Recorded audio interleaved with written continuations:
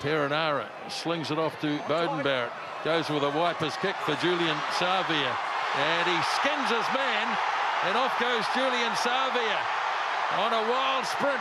Lage ran him down. Laumape.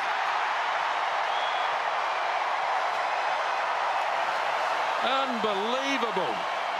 From their own goal line.